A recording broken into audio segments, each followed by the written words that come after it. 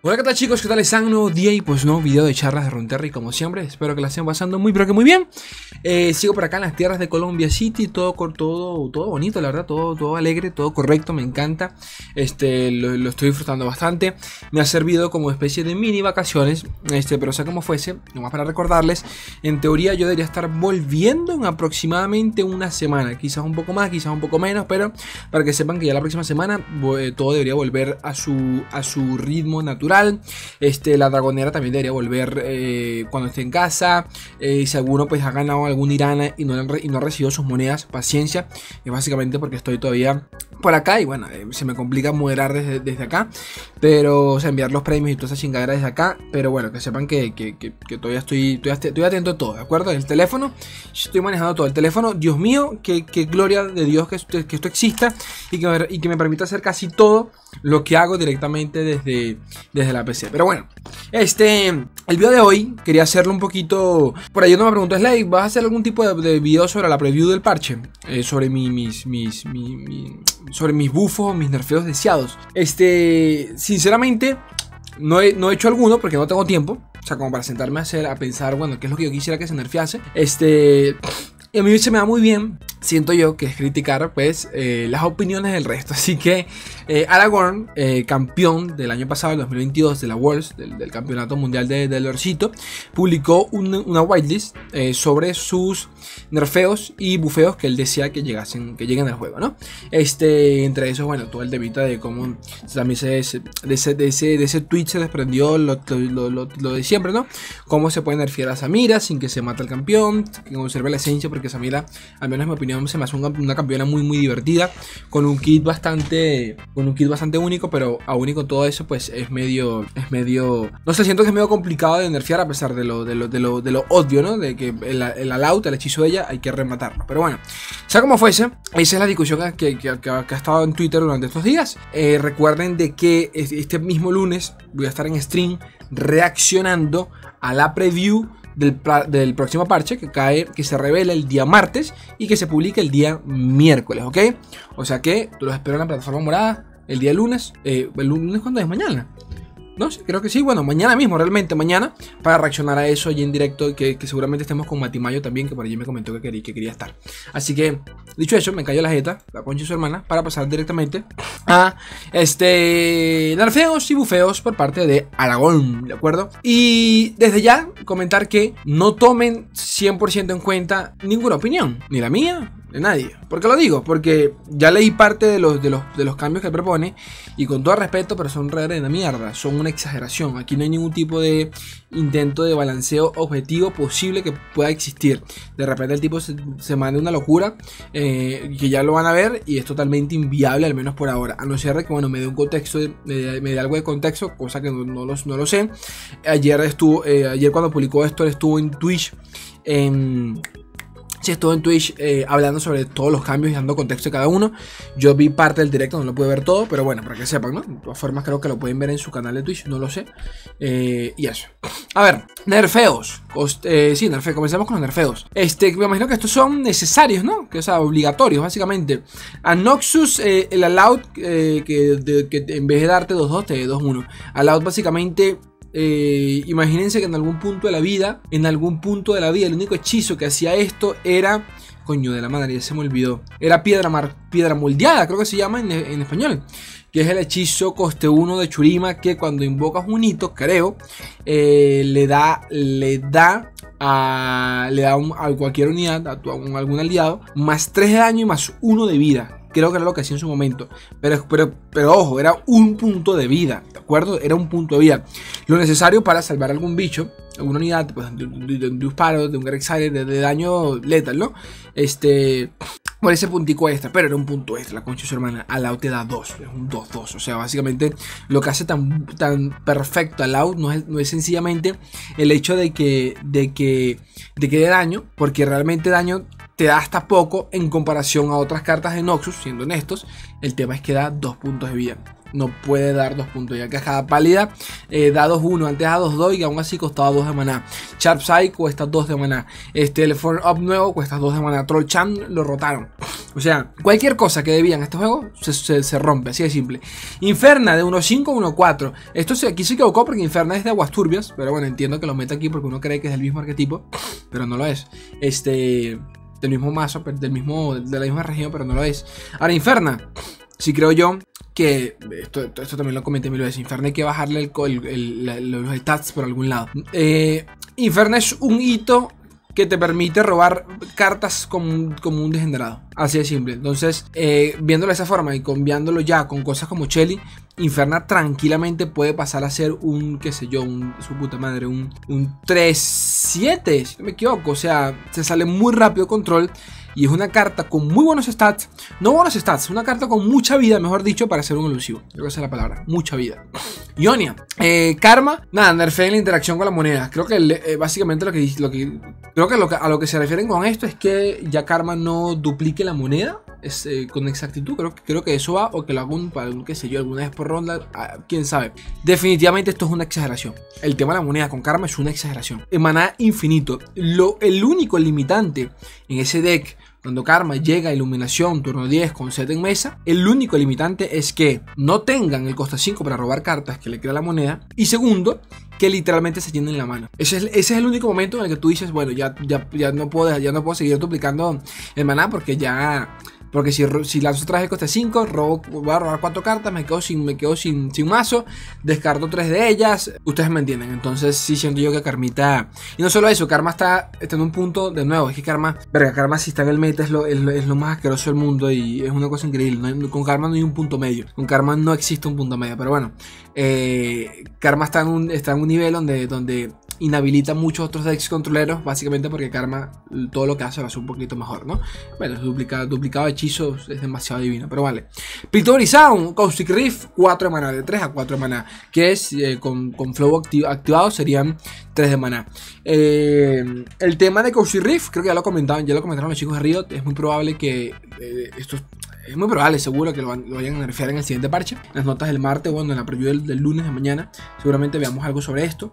Este, ¿qué más por acá? Targón.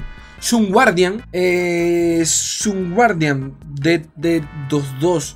O sea, él tiene. Sun Guardian es un 2-4. De 2-4 a un 2-2. Sun Guardian junto. No, Sun Guardian no. Leona es actualmente, si no me equivoco, lo único que funciona de Targón. Para que veamos lo mal lo mal que está la. Lo mal que, lo mal que la está pasando Targon en general. No solo eso, Leona como campeón midrange en, su, la mayoría de, de, sus mazos históricos, solo se, está, solo se está jugando actualmente en un mazo agro. Y esto también lo comentaron en los chicos de Riot sobre que quizás Leona habría que reajustarla porque se está jugando. Siento yo que eso fue la, lo que quisieron decir, ¿no?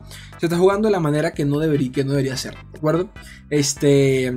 Hay ciertas versiones de Leona, de, de Leona Samira que son más lentas, tienen un poquito más de control de mesa, todo lo que tú quieras, pero en general el único dead que ve, que ve Leona es un fucking agro. Entonces nos habla un poquito más de, lo, de lo, nos habla un poquito de lo mal que está la, región y Leona en general.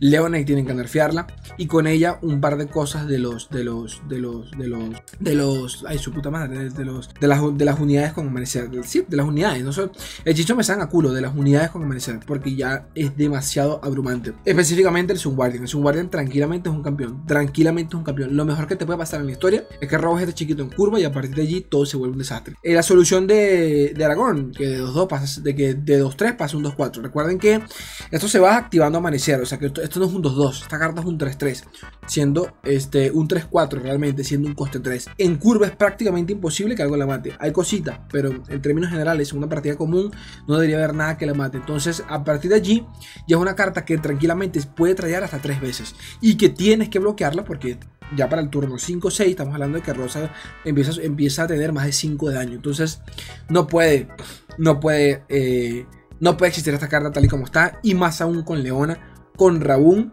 y Samira en el mismo deck, que es como por Dios, mátenme ya mismo. Pero bueno, ¿qué más? Leona. Este, que la pasiva de ella que creo que es la pasiva de, que tunea un bicho, el bicho más fuerte cuando activas amanecer, solo se active una vez por ronda. Esto básicamente para anular eh, los efectos, por ejemplo, de eh, Rabun. Ahora, de ser ese el caso, sucedería justo lo que acabo de mencionar. Eso anularía a Rabun. Y si anulas a Rabun, o sea, y se anula que la, el hecho de que, de que se pueda reactivar la pasiva de Leona, estarías anulando a Raúl. Y sería totalmente contraproducente para, para el simple existir de Raúl. Raúl existe por Leona, siento yo. También es cierto que, bueno, existe para que puedas jugar cualquier unidad con Amanecer en cualquier momento, pero de nuevo, siendo realistas, el único efecto decente con Amanecer o que realmente puede ser perjudicial para el rival en una partida son Dragón del Eclipse, que vale 7 fucking de maná. No es como que no, vas, no vas a jugar a Raúl para jugar al Dragón del Eclipse no tiene sentido. Este, el stun, o sea, el, el, el, el, el halcón coste 2, porque sería bueno activarlo en cualquier momento que te dé la gana, o sea, para, jugarlo de último, quitarte algún bicho pesado del rival y tener un buen, buen, buen lethal. Y este, diría yo que el, coste 4 que roba vida, que sería excelente jugarlo de último como, como respuesta a ciertas cositas, pero bueno, se los pongo para que entiendan de que Leona es, lo mejor que tiene, es un, tiene la mejor, la mejor pasiva en cuanto a Daybreak, entonces no sé yo junto con el dragón de la Eclipse, entonces no siento yo que no sé si este cambio realmente valga, o sea, lo, valga, porque al final del día matarías al campeón. Pero bueno, a ver, ¿qué por acá? Creo que estos son, este, no sé, no, sé qué significa esto, pero bueno, a ver, eh, Invicious Cultist, este es el, este es el cultista de los mazos de Pantheon con Varus, que básicamente nos permite crear, creo, creo que tiene Atum, no, has dicho no tiene Atum, has dicho lo que te da es, no, sí creo que tiene Atum, y te crea un, te crea un hechizo coste 2 y lo reduce a coste 0. No, no, no tiene Atom. Te crea un hechizo coste 2 y le reduce, le reduce 0 maná. Es este, básicamente. Este Ambitious, eh, Ambitious Cultist, creo que actualmente es un 3-5, si no me equivoco, para hacer un coste 4. Tiene muy, pero que muy, muy buenos stats. Sumado al hecho de que es un mazo que juega alrededor de los, eh, de los equipamientos. Es tranquilamente, es, tranquilamente una unidad que suele tener más de 5 de vida. Entonces sucede un poquito lo mismo que el Sun Guardian. Quizás tiene mucho, muy buenos stats para una carta que ya tiene un muy buen efecto. Entonces, nomás lo dejo allí. Eh, Ranger Knight Defector. Esta es de las mejores cartas que en el juego. De las mejores fucking cartas que en el juego. De las más rotas que hay. Desde su existir. No tiene ni sentido lo que hace esta carta. El, el, el nada, el Ranger Knight Defector es el coste 4. Creo que es 4-3 del arquetipo de, de, de, Demacia, si no me equivoco. ¿Es de Demacia esta carta? Su puta madre. Dije, ya ni sé cómo lo juegan los cultistas. O sea, como se juega con los, con los Darkins, ya, ni sé de qué región es. Este, pero nada, básicamente la unidad que cuando, que cuando juegas un, cuando equipas un Darkin, obtiene dureza y scouts. No tiene sentido lo, lo exquisito esa carta. Un buen nerfeo, según Aragorn, sería quitarle la dureza. ¿Por qué? Ya es una carta con buenos stats, ya es una carta que se utiliza en mazos que tienen buena defensa cuánto hechizo, Moment Choice que le da vida.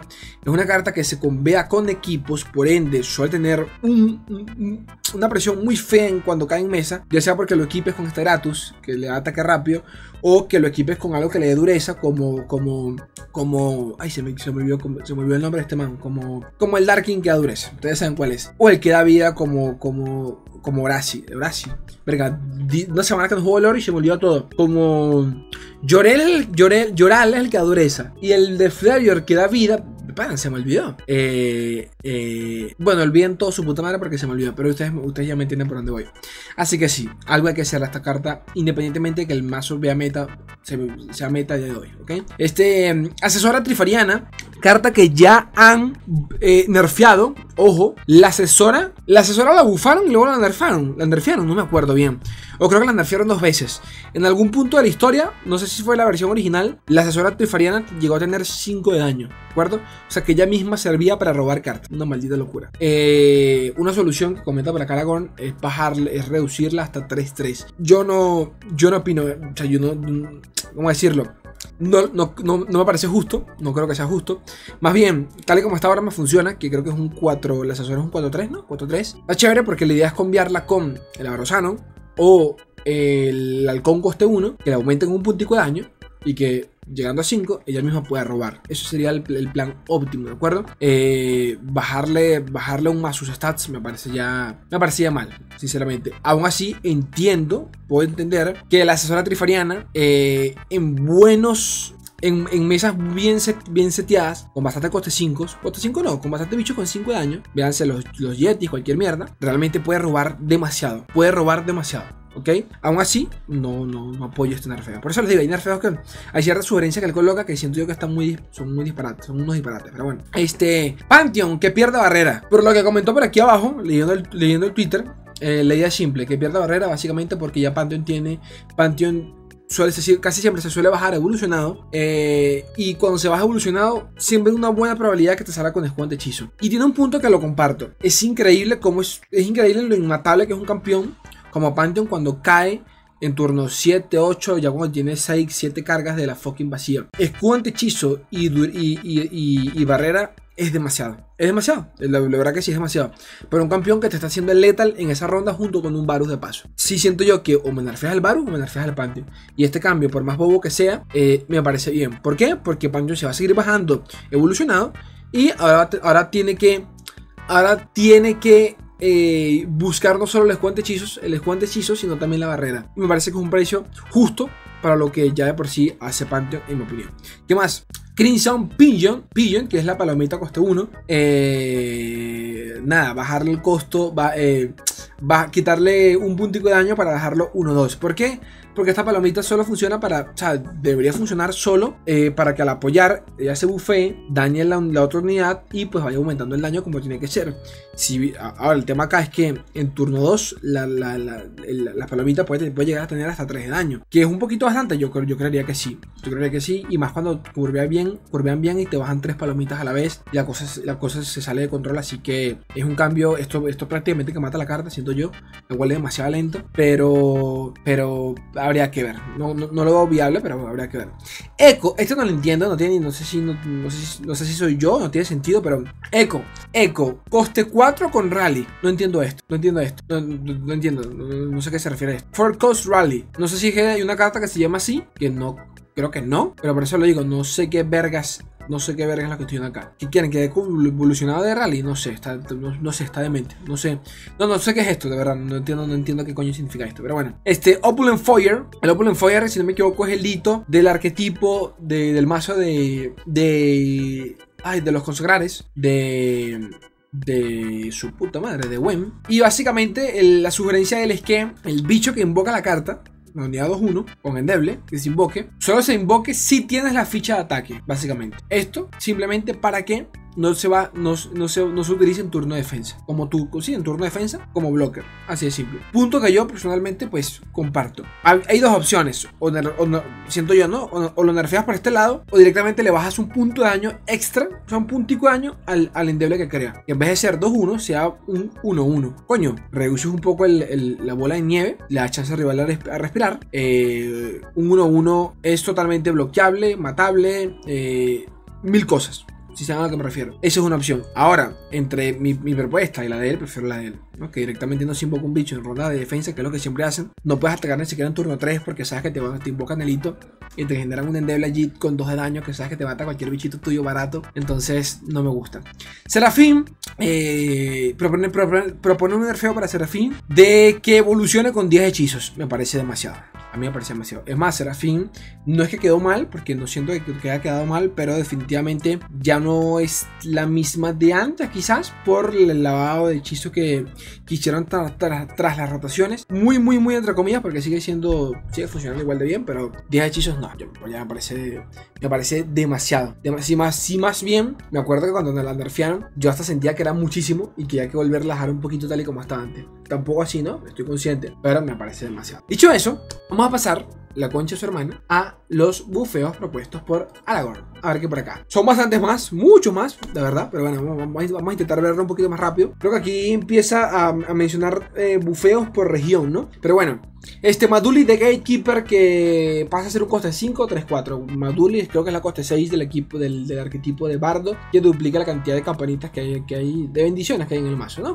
Este, si no me bufeas a, Bardo, bueno, bufeame a alguno de sus seguidores a ver si por algún lado puede ver juego. Ya lo han hecho, ya lo han hecho por allí, pero bueno, Bardo y es triste porque a mi Bardo me gusta. A mi Bardo me gusta. Que fue tenerlo en contra totalmente. Pero a mi Bardo, a nivel jugable, me gusta y lo disfruté mucho el Bardo y la voy hasta decir basta. Pero bueno, Lecturing Jordal. Este es el Jordal coste 4, si no me equivoco, que tiene. Este es el coste 4 que tiene 5 de vida y que te genera un dardito cuando se invoca y cuando ataca. Lo nerfearon y ahora solo cuando ataca. El cambio de él es que le reduzca, creo que es la vida, o sea, el daño y la vida, no la vida solamente, creo, sí, la vida solamente, pero que te genera el dardo también cuando se baje y cuando ataque, ¿de acuerdo? A ver, un dardo extra, tan simple como eso. Y sigue, sigue teniendo buenos stats, la verdad, pero bueno. Este. Mm, no sé yo, ¿qué quieres que te diga? Igual, bueno, ese dardo extra es bueno, ese dardo extra es bueno para debilitar algún bichito. Son los dardos al final del día, o sea, pasa buen daño la, la cara. Este, The Darking Staff. Esta es, el de Darking Staff es la de Bundle City, ¿no? Si no me equivoco, yo no recuerdo bien. Eh, ah, sí, es la Bundle City, Balcox. Sí, es la de Bundle City. Eh, creo que te se refiere a que da un puntico de daño. Porque The Darking Staff lo único que te da es impacto, si no me equivoco, ¿no? Creo que lo único que te da es impacto. La carta no tiene daño ni vida. O sea, el Darking no, tiene, no te da ningún stats. Lo que aquí lo que le sugiere es que por lo menos un punto de daño para que valga la pena utilizarlo. Eso sí creo yo que eh, lo comparto, la verdad. Pero bueno, y el resto, Balcox, eh, que al menos tenga de base 3 de impacto. Ni sé cuánto tiene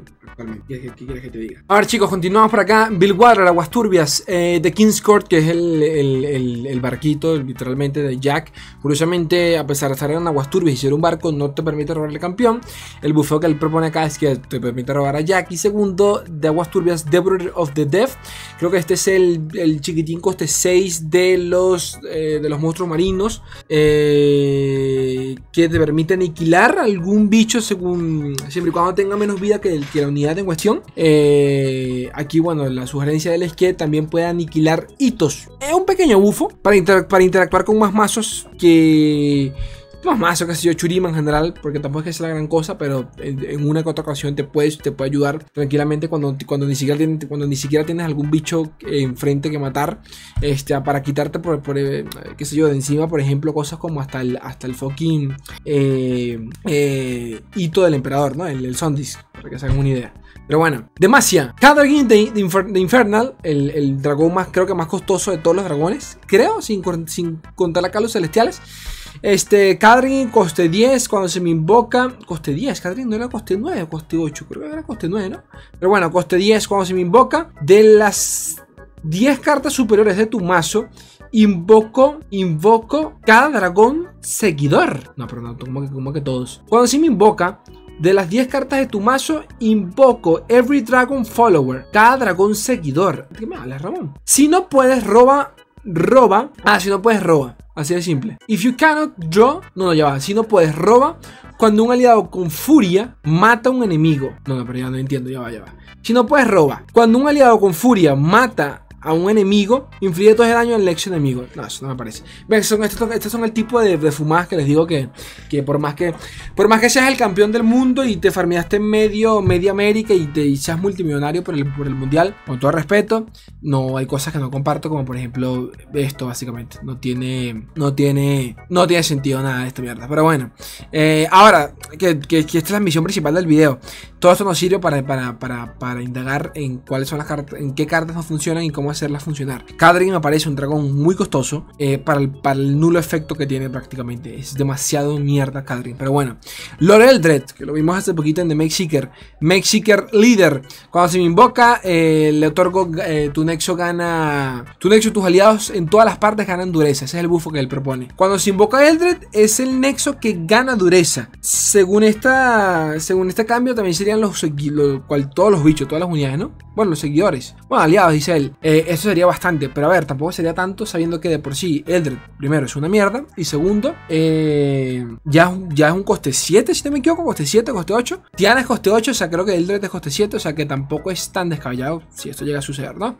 Protective Brutefather, que este es el dragón. No sé, no sé si alguno recuerda que una dragona, que una dragona hembra por algo dragona eh, de Demacia y también está el padre que el padre cuando que, es el que crea el combo infinito este combo infinito este de los dragones o sea cuando ataca y si la siguiente roba una carta si es un dragón lo invoco automáticamente atacando y le da después duplicar este dragón para que se, se cree este combo este, llenes la mesa con un solo ataque que no sirve para una mierda ese combo porque yo lo intenté pero ya yo vi cuál es no bueno igual creo que por aquí lo tengo a ver creo que por aquí lo tengo lo tengo lo tengo lo tengo Protective acá está Brutefather aquí lo tienen alguno pues tiene duda de cuál era exactamente. Este, ¿cuál es el cambio que él propone acá? Eh, al atacar que tenga desafío. Invoco un dragón atacante del top deck de tu mazo. Summon an attacking dragon from the top of your deck. Eh, eso, este es otro de esos cambios que no entiendo. O sea, no, no sé si es un tema de reacción. No entiendo por qué quisiera yo que mi bicho, que mi bicho tuviese desafío. Eh, no entiendo. Actualmente la carta hace robo, robo, una unidad. O sea, robo una unidad. Si es un dragón, lo invoco atacando. Así de simple. El cambio aquí sería invoca a un dragón atacando del top deck de tu mazo. Del top deck de tu mazo. Esto es un No entiendo, no, entiendo directamente. Pero bueno. Flareyor. En un mundo ideal, le haríamos un rework a Orn. Vale, tampoco creo que sea un, que, que, falte un rework, pero definitivamente hay algo en cómo está hecho el juego que Flareor no termina de cuajar por ningún lado. Y la mitad de los campeones que salen para Flareor terminan siendo una reverenda mierda. Y el tiempo, pues, no, ha, no, nos ha dado otra cosa que la razón en ese sentido. Campeones como Udir eh, y hasta que, que en mi opinión tienen un kit relativamente interesante. Son lentísimos, eh, counteriables, rematables. No sé si más un tema de que a, de que a le hace falta las herramientas para defender aún mucho más sus campeones. Eh, para cosas de, cosas como una venganza, qué sé yo, como una ruina. Pero como afuera, siguen siendo eh, una mierda. Y, y, sí, algo hay que hacerle a, a, Orm y algo hay que hacerle a Udir porque no, no entran por ningún lado. Udir, bueno, aquí lo menciona él, algo. Continuamos por acá con Usgar de Ancient, coste 7. Eh, Usgar creo que es el bichito, este, el, bichito, no, el bichote de Fletcher que tiene desafío de regeneración. Creo que, creo que tiene desafío de regeneración. O era Brumar, no recuerdo bien. Eh, pero nada, el, cambio acá que, que, propone es que inflijo daño al nexo enemigo por cada punto de vida que he regenerado. Esto no tiene sentido, no tiene ni sentido para, la región a la que pertenece. Si acaso esto puede funcionar, funcionar así en Noxus o en, qué sé yo, en Noxus o Islas las Sombras con Drenar, ¿no? Pero así tal cual no tiene sentido de manera simbólica en la región. Así que no entiendo este cambio de verga. Pero bueno. Hunting Boar. Eh, el Hunting Boar es este que está por acá. Eh, y este cambio sí me parece muy bueno. Eh, básicamente es darle dos puntos más de daño. Que de 2-1 pasa a ser un 4-1. ¿Por qué? Porque esta carta la presentaron en su momento como otra, como otra carta para rampear. Pero no tiene sentido rampear con ella. Porque ¿quién coño de su madre va a matar esta carta? Así es simple. Porque si la matas con último aliento, gano, el rival va a ganar una gema de maná vacía. Una gema de maná. Entonces, ¿para qué voy a matarla? Y es una carta tan débil que ni siquiera mete presión, me, mete presión a mí cuando yo soy el rival, cuando estoy, cuando estoy de rival, eh, cuando lo tengo el de rival, básicamente. Me ataca y no me mete presión, son dos de daño. Por tres semanas que tienen que invertir, me parece una reverenda mierda. También entiendo que parte de esto es que lo invoques a él, ataques y eventualmente con una avalancha lo termines también matando. Pero que el rival por lo menos lo tenga que bloquear, siento yo, ¿no? Eh, así que sí, por lo menos un puntito de daño mínimo tendrían que aumentarle y aún así me parece poco. La verdad, pero ¿qué, qué te puedo decir? Este. Ornforge, la forja de Orn. Creo que esto se refiere al coste 3, si no me equivoco, que te, que te permite forjar reforjar, mejor dicho. Eh, según esto, pues bajarle el coste de 3 a 2. Aquí, lo, aquí lo tiene, un cambio pequeño Aún así, no creo que eso cambie mucho en lo, el, el, drama de Orn, pero, pero vale. Ionia.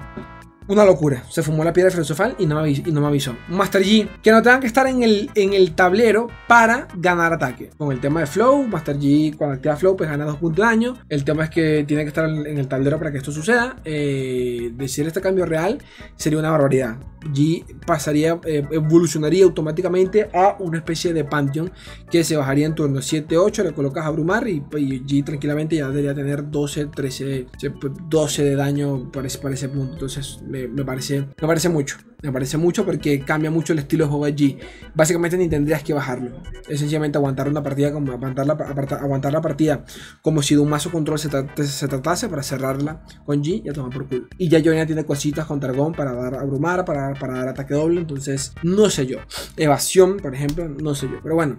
Noxus, coste eh, Noxus. Eh, Sion, que cuando se descarte, le otorga la aliado más fuerte, abrumar y que de paso robes una cartica. Eh, no sé yo, no sé yo si esta hace falta eh, con la buena reciclada de cartas que suele tener eh, el descarte en Noxus en general y tienen buen tienen, tienen hasta cartas que descartan y roban más cartas o sea no creo yo que haga falta esto pero vale. Eh, si bien es cierto descartar acción tampoco es lo mejor de lo mejor así que quizás algo pueden hacer pueden se le pueda sacar más provecho a esa, dinámica allí pequeñita pero vale este Weapon, Weapon of the Lost este es, si no me equivoco, el coste 7 que sale de la Telstone de Noxus. ¿Saben que está un hechizo que da daño? Otro que te crea. No, ni me acuerdo, el tercero. O sea que, ah, bueno, hay un hechizo que da daño. Están las, el hechizo de Draymond, que no ni a golpea a otra cuando están en ataque. Y el tercero, que es un un hechizo que pasa daño a un bicho y de paso te invoca un trifariano,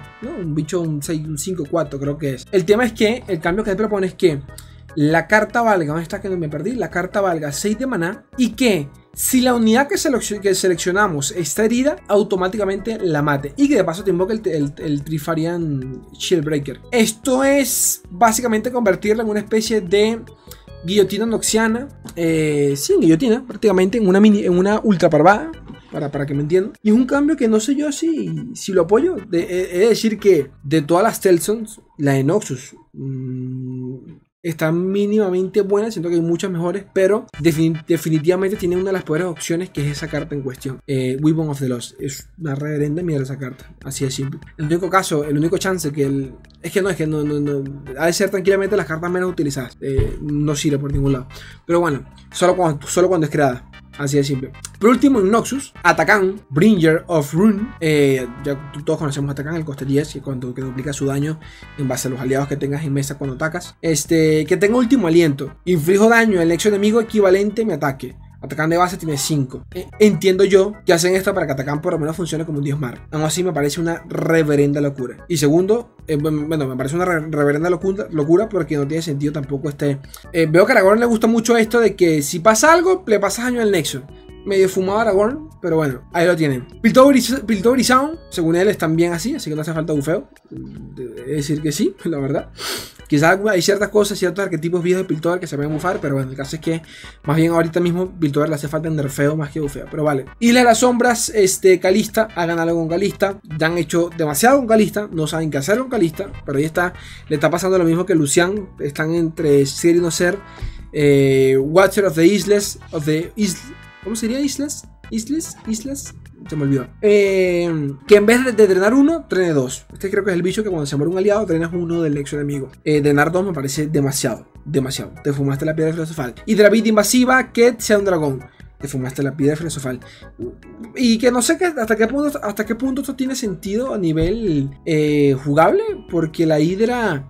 Yo entiendo que a algún punto la hidra se concibió hasta como un dragón. Porque esto lo hablamos. Viego nació como un dragón. O sea, Viego en sus primeras versiones, cuando Steve estuvo, eh, lo estuvo diseñando, había comentado de que se planificó para que se jugara con Chivano, con el arquetipo de los dragones. De allí que varios de las cartas de, de, de Viego pareciera que son dragones tiene un dragón y tiene mucha sinergia, entre comillas, con Demacia el, o con Targón. El caso es que eh, nada que ver, ¿de acuerdo? Se fueron, se terminaron yendo por otra idea y luego pues evolucionó en lo que conocemos actualmente. Al hacerla dragón, ¿qué cambiaría? Que, te, que, que alguna de las cartas que generan dragones nos dé un Edravit. Creo que es lo único que ayudaría acá. Del resto, no sé qué cambio, qué, qué, qué, tan vital, qué tan importante sería, sería este cambio. Porque, sí, la estoy pensando, no, no sé qué, qué, qué, tan vital sería esto, la verdad. Pero bueno, raza de Sunderer.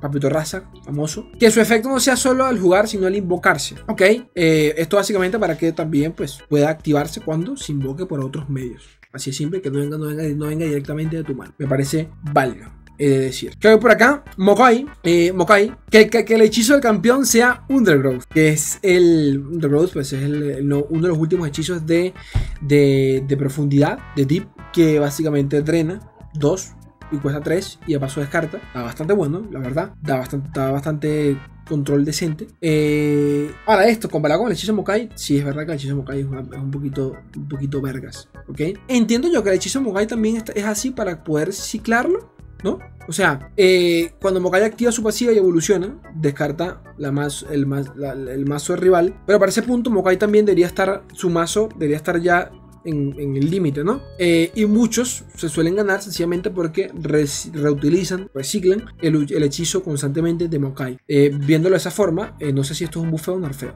pero para que se hagan una idea, ¿no? Eh, ¿Y por qué digo eso? Porque el Undergrowth sí se puede cancelar, así de simple. El del hechizo Mokai creo que actualmente es ráfaga y cura a los aliados y ya. Pero bueno, por parte de Churima, Devoted Council, creo que este es el, el chiquito coste 3, coste 3 sí que cura es un 1-5, si no me equivoco, que cura, siempre y cuando tengas un campeón evolucionado. Eh, este cambio creo que viene eh, de, en inspiración a la nueva carta de dragón, coste 2, 1, 1, 3 o 1, 4, no me acuerdo bien, creo que es 1, 2, 1, 3, que cura constantemente a tu nexo y a él mismo. Creo que por eso quieren hacer este, eh, creo, que, creo que de aquí, de, creo que de esa idea nació este cambio acá, ¿no? Eh, le, le hace falta sabiendo que el bicho vale por sí 3 de mana, yo diría, yo, yo, no creo, pero bueno, eh, contra el agro sería excelente. Y Churima, según qué enfrentamiento, lo suele pasar mal en contra del agro más, más purito. Pero aún y con todo eso, hoy en día ni se ven agros, porque no existen más esos agros convencionales. Así que, ok. Camouflage, Camouflaged Horror. Este es el de, del arquetipo, bueno, se los puedo buscar, por aquí lo, había guardado Camouflage para que, lo, para que lo ubiquen, porque sé que al igual que yo, deben estar un poquito perdidos. ¿Dónde está? Eh, puta madre. Ahí está, chicos, disculpen. horror camuflajeado, camuflajeado, camuflado. Eh, nada, cuando se juega, golpea un enemigo. Eh, tiene Evolve, Fearson 5-3, un poquito mierda. Es realmente una venganza de, Churima. Ya Isla de las Sombras tiene su, propia venganza, pero también tiene venganzas eh, que jugablemente son exactamente esto, son unidades hechas venganza, mejor dicho, y, y, las sombras tiene una, que literalmente bajas, la bajas sacrificando un bicho para matar a un, a un enemigo. En este caso es eh, se juega para eh, que al jugar golpea a un enemigo. Ya también hay varios Ichurimas que hacen exactamente lo mismo. Varios, creo que hay dos más, tres más, creo. Eh, es una mecánica un poquito única dentro de Churima, entre comillas. Eso es el, esto es el tema de que baja un bicho y golpea automáticamente. el cambio que él, que él, propone por acá, ¿dónde estás? Que no te veo. Es que pues de 6 de maná en vez de 7. Y sí, bueno, básicamente bajarle maná. Creo yo que por lo mismo, para que sea un poquito se equipara un poquito a la venganza clásica que todos conocemos. Fallen Suns General, que se los acabo de mostrar, demostrar, que es, el que está, que es este que está por acá, el cambio que él propone directamente es, si no me equivoco, bajarle el costo. De nuevo, velocidad. Yo no creo que esta sea una mala carta, me parece una buena carta, en mi opinión, me parece muy buena carta. carta de chis arquetipos como el de Solani, Asir, le pueden sacar provecho a esto. Solani, la, la, la, la, hija de su puta madre que se bufean en base a unidades que tengan daño aumentado. Eh, de repente puede sacarle provecho a esto.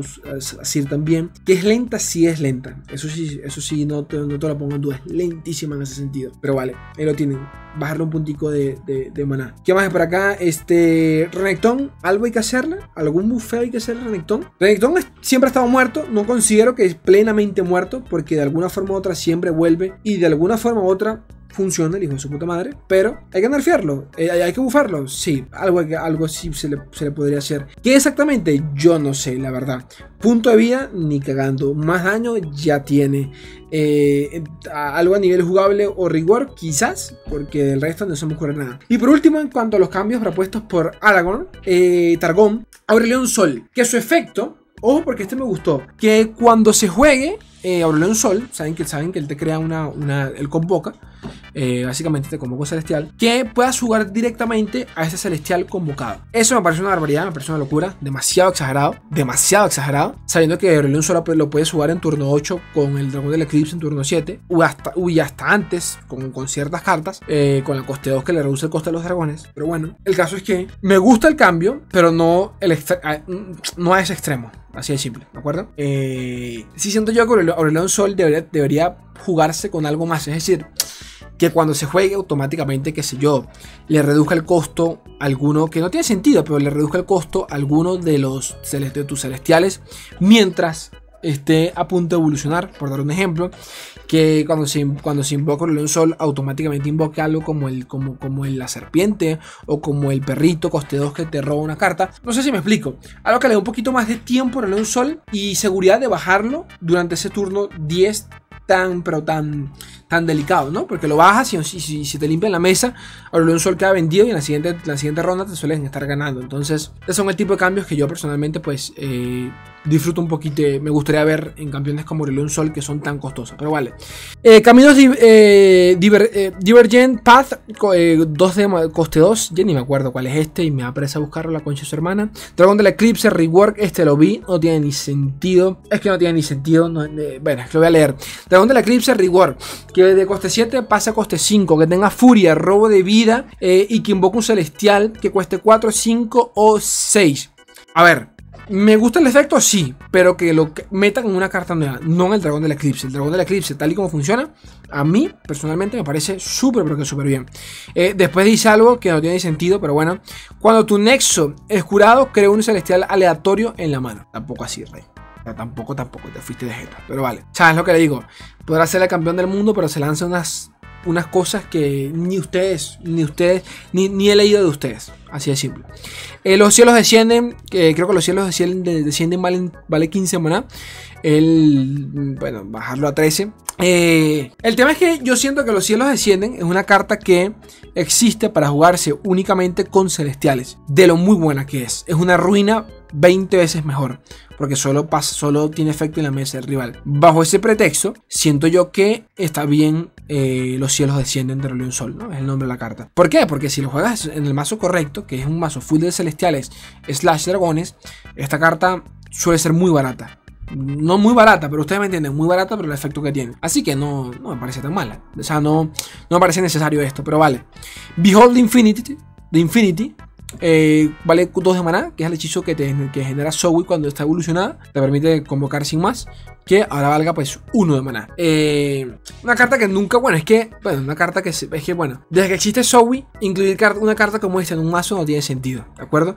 Y más sabiendo que te puede generar, generar cualquier mierda aleatoria eh, que te puede servir o no directamente. en el, el día en el que los celestiales tengan algún tipo de bufo más sustancial o agreguen más directamente, quizás agregar cartas como Behold Infinite directamente al mazo sea un poquito más viable. Pero hasta entonces lo veo al pedo. Básicamente eso son los cambios que propone Papito Aragón. como les dije, la mitad son medio al pedo. No, no la mitad, muchos los, los, acierta. Los otros son medio al pedo. Pero eh, como de costumbre, no perder esta. No perder esto de. Este entrenamiento de, de, ver qué, cuál, cuál cambio queremos eh, cuáles les hacen falta y toda la chingadera. Leo sus comentarios. Lo, lo, importante acá son ustedes. No se olviden de eso. Los quiero un fucking mundo y la mitad de otro. Voy a sonarme gente bella. Adiós.